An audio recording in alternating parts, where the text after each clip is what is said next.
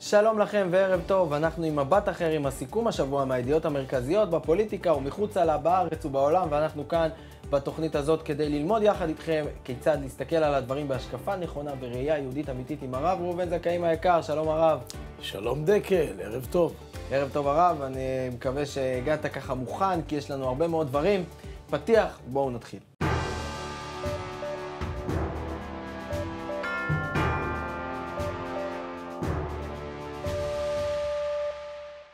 אז uh, השבוע נפתח עם ידיעה מצערת מאוד, אור ישראלוב, לוחם צה"ל, נורה השבוע למוות במהלך תרגיל בבסיס האימונים של חטיבת הצנחנים בדרום הארץ, ככל הנראה בעקבות זיהוי לא נכון, שלאחריו בוצע ירי דו צדדי. מעדויות uh, עולה כי הלוחם שנורה שימש כדגלן שסימן עם פנס את קו היורים uh, בתרגיל כחלק משבוע מלחמה. כוח אחר לא זיהה אותו וירה בו מטווח של כ-250 מטרים. מצ"ח פתחה בחקירת אה, נסיבות האירוע. דובר צה"ל עדכן כי הודעה נמסרה כאמור למשפחתו של החייל. ישראלוב בן 19 מבת ים שירת כלוחם אה, בהכשרה בחטיבת הצנחנים. הוא עלה במותו לדרגת סמל. קרוב משפחתו סיפר עליו כי היה אדם מדהים, מלח הארץ, זה קלישאתי הוא אומר, אבל זה מי שהיה. תמיד מוקף באנשים אוהבים, אחד כזה שלא מוותר לעצמו ולא עושה לעצמו הנחות, רואה מטרה ומסתער עליה. הלוחם האחרון שיכול להיפגע מירי בתרגיל כזה זה הדגלן, שיש לו גם דגל סימון וגם פנס, כך אמר גורם צבאי. לא ברור איך זה קרה, המפקדים שלו עדיין אה, בהלם מוחלט. מקרה מצער מאוד, ואנחנו אה, באמת משתתפים בצער המשפחה, שלא תדעו עוד צער. הרב, יש פה מקרה שנראה שאין פה סיבה שבטח בן אדם שככה כל כך רואים אותו, וכולם רואים אותו, ודווקא הוא, זה ברור שזה משמיים, וגם היורה, היורה שירה בשוגג, איך, אה, איך מתייחסים אה, לדבר כזה? אכן מקרה מצער מאוד. אתה יודע שכשזה בא מאויב, אז נכון, זה כואב, כאב עצום ונורא. ועדיין זה לא משתווה לכאב של חייל שנהרג מירי כוחותינו. והדבר כמובן נעשה בשגגה, בוודאי בחוסר כוונה, ולמרבה הפרדוקס, כמו שאתה גם אומר, עד כמה שהחייל הזה היה אמור להיות האחרון שאמור להיפגע, גם בגלל הסימונים והאיתותים והמיקום שלו, והנה מאת השם אה, יצא מה שיצא. כמובן שזה לא פותר את uh, היורה, אתה יודע שיש לנו פרשה שלמה של רוצח בשגגה.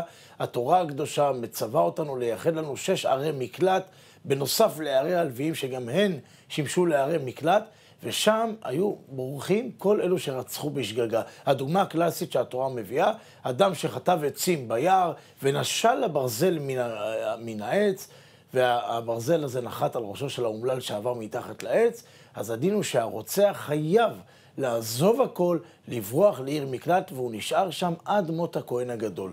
מזה לומדים רבותינו במסכת מכות, שגם אדם שרצח בשגגה, כיוון שיצאה תקלה מתחת ידו, ויש לנו כלל שמגלגלים זכות על ידי זכאי וחובה על ידי חייו, לכן הוא צריך ללכת לעיר מקלט, שזה עונש גדול, בעצם זה סוג של בית כלא.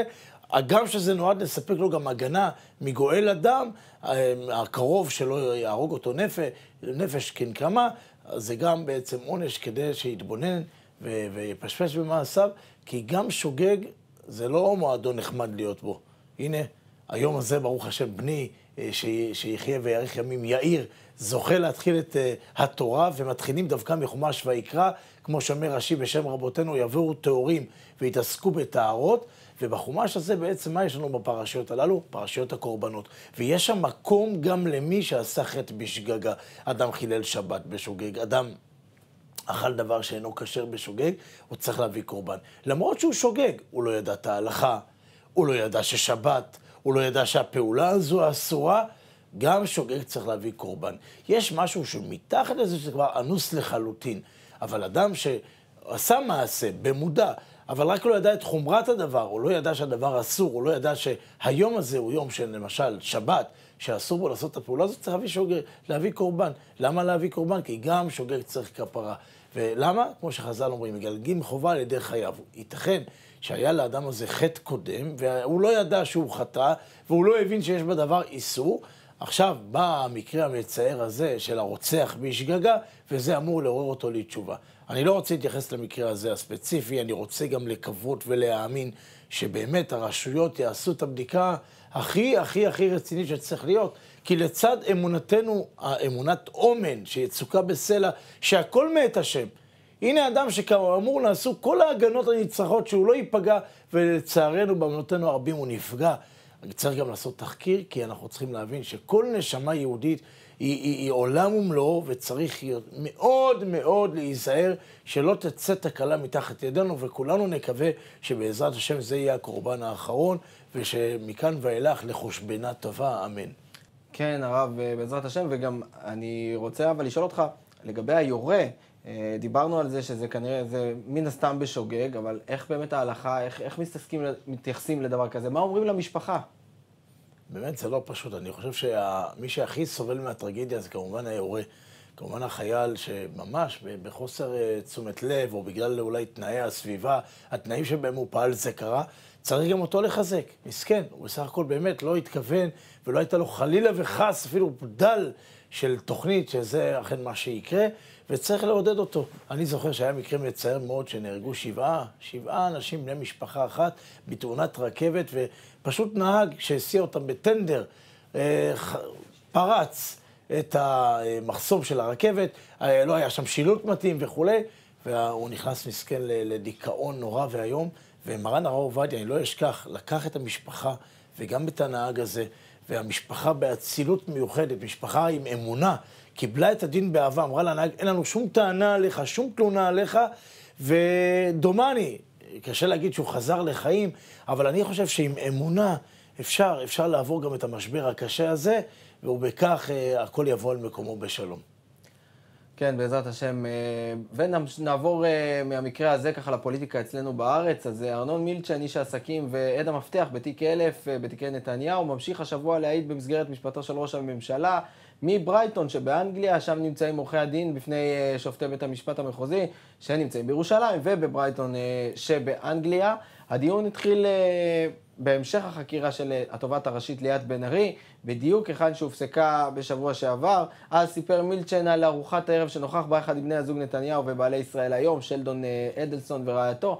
מילצ'ן הסביר את דבריו ואמר שהצדדים ניסו למצוא נוסחה שתאפשר להתנהל כך שישראל היום וידיעות אחרונות לא יפגעו אחד בשני. מילצ'ן העריך כי בידיעות אחרונות נהגו לתקוף את ראש הממשלה ורעייתו כדי לגרום מצוקה לבני הזוג ולהגיע להסכם לפיו ההתקפות ייפסקו בתמורה להגבלת כמות העותקים שיודפסו. לדבריו, נתניהו ורעייתו הם שביקשו ממנו להיות uh, מעורב בחוק ישראל היום.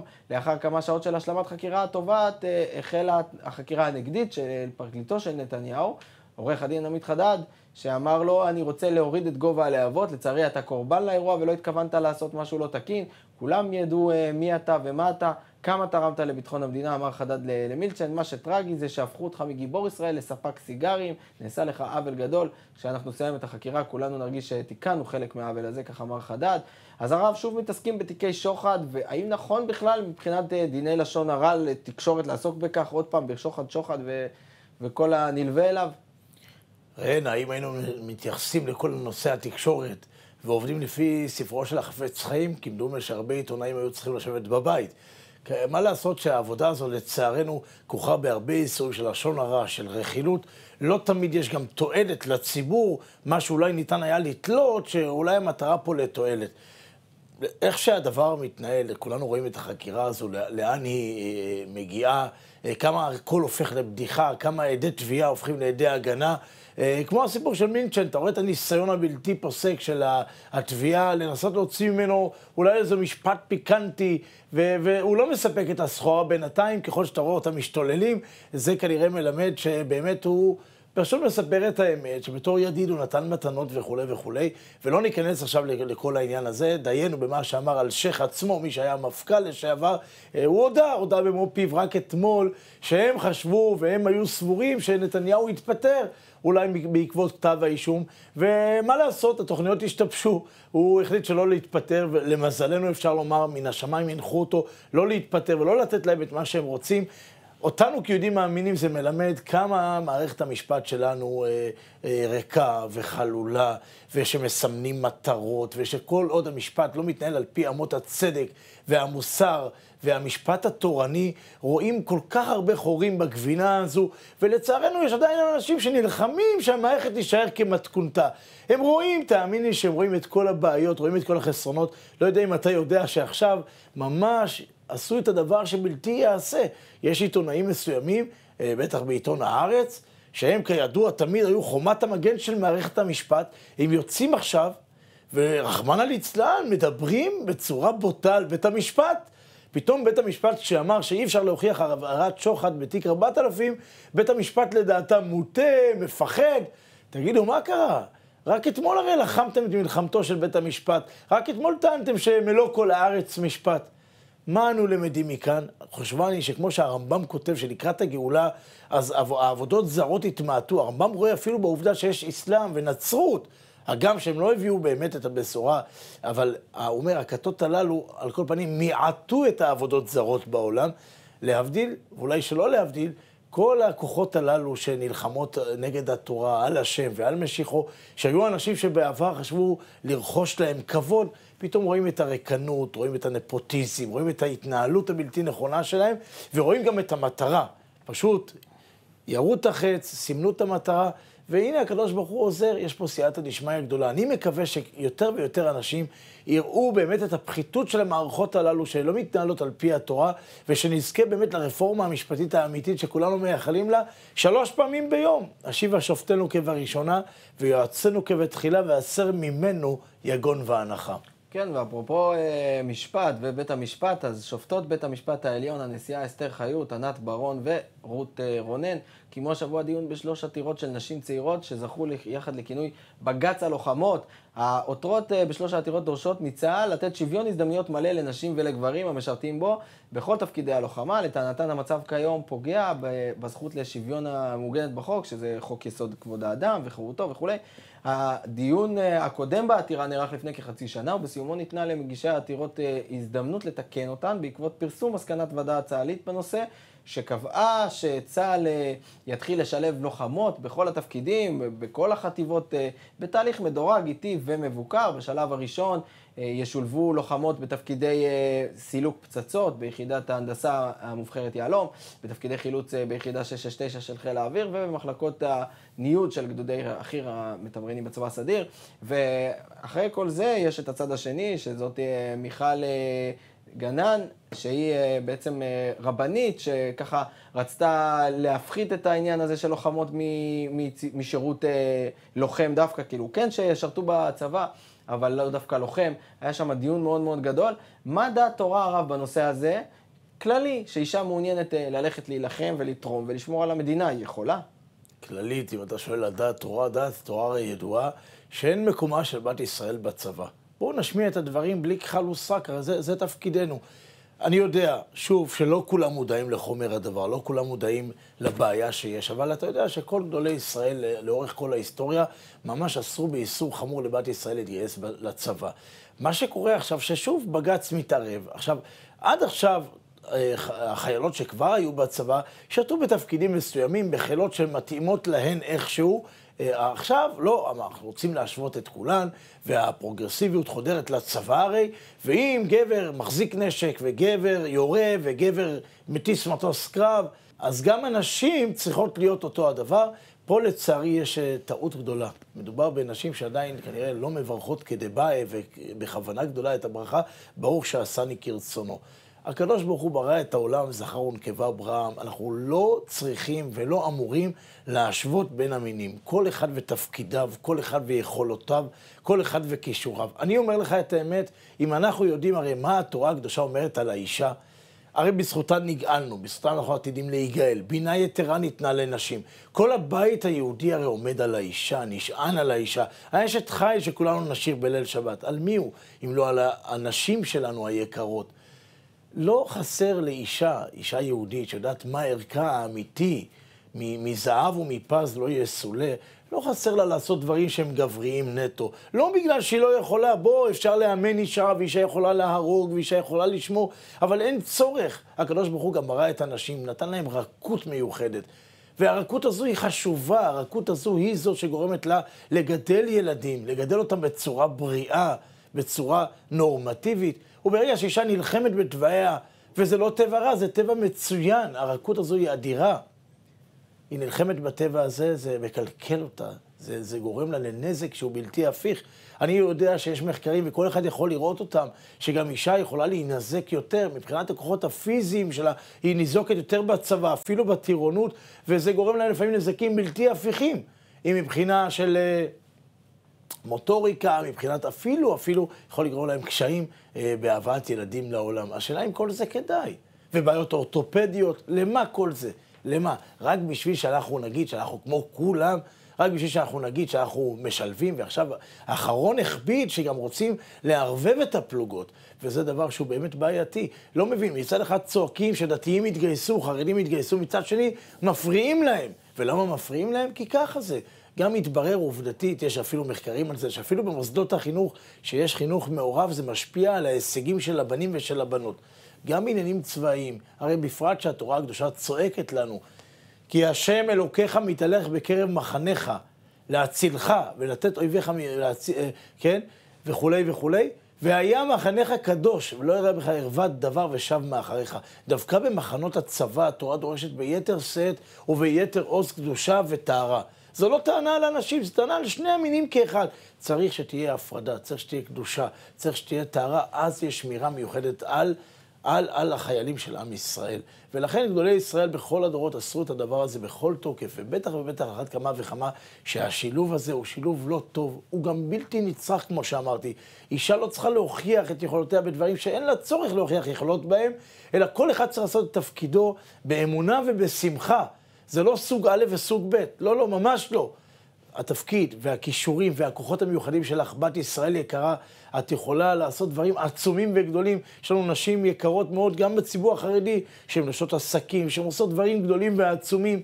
התחום הצבאי, גם אגב, התורה הקדושה אומרת שלא יהיה כלי גבר על אישה. אתה יודע שתרגום יונתן אומר שאישה לא תיקח כלי נשק עליה. כלומר, יש פה שאלות שלא ילבש, גם שאלות הלכתיות מובהקות.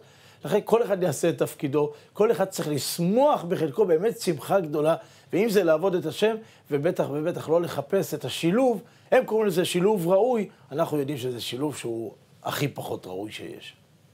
כן, ובהמשך הבלתי נגמר של המחאה כנגד המהפכה המשפטית, אז השבוע הפגינו עשרות פעילי שמאל מול ביתו של חבר הכנסת יריב לוין, וגם אהוד ברק המשיך עם משפטי ההסתה שלו והבעיר שוב את השטח, ובתוך כך תנועת הליכוד הגישה תלונה במשטרה נגד אה, חבר הכנסת יאיר גולן אה, ממרץ, לאחר שכינה השבוע בריאיון את ראש הממשלה מחלה ממארת. חבר הכנסת גולן אמר בריאיון אה, לרדיו 90, אני נחרד מהרפש שיש בזירה הפוליטית, אנחנו צריכים לגאול את ישראל מהמחלה הממארת ששמה בנימין נתניהו.